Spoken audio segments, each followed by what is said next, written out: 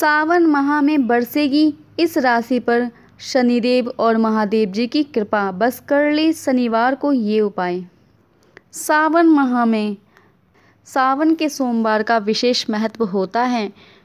इतना ही नहीं, सावन माह में हर दिन का एक विशेष महत्व होता है। ऐसे ही सावन माह के शनिवार के दिन भी यह शनिदेव जी की पूजा आराधना यदि सच्चे मन से की जाए तो उसकी बहुत ही शुभ फल मिलते हैं। सावन माह का पहला शनिवार 8 जुलाई 2023 को है।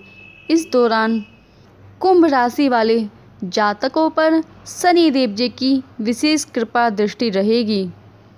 ऐसे में कुंभ राशि वाले जातकों को शनि देव जी को प्रसन्न करने के लिए ये उपाय अवश्य ही करने चाहिए।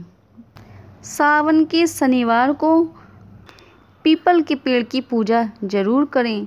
शनिवार के दिन पीपल के पेड़ पर जल, कच्चा दूध और काले तिल ज़रूर चढ़ाएँ। साथ ही शाम को शनिवार के दिन सरसों के तेल का दीपक जलाएँ। ऐसा करने से शनिदेव प्रसन्न होते हैं। वहीं शनिवार के दिन भगवान शिव का जलाभिषेक करें उसमें थोड़ा सा काला तिल भी मिला लें। ऐसा माना जाता है, ऐसा करने से शनि दोष दूर होता है। साथ ही, सावन के सोम, सावन के शनिवार के दिन जल में थोड़ा सा शहद मिलाकर भगवान शिव का जलाभिषेक करें। ऐसा करने से शनिदेव प्रसन्न होते हैं। साथ ही, महादेव भी प्रसन्न होते हैं और आशीर्वाद प्रदान करते हैं।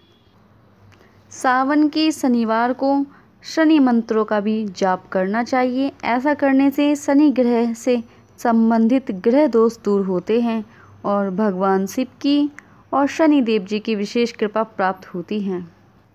सावन माह के शनिवार का पौराणिक महत्व, हिंदू धर्म में सावन मास बहुत ही महत्वपूर्ण है। शनिवार को न्याय के देवता शनि देव जी का दिन माना जाता है। सावन शनिवार को शनिदेव जी की पूजा करने से साढ़े साती व ढैया दोष से मुक्ति मिलती है।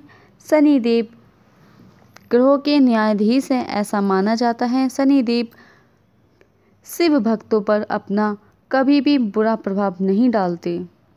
प्रिय दर्शकों, अगर आपको हमारी ये जानकारी अच्छी लगी तो हमारे चैनल को सब्सक्राइब, लाइक करें और कमेंट्स बॉक्स में जय शनिदेव और जय महादेव अवश्य लिखें। धन्यवाद।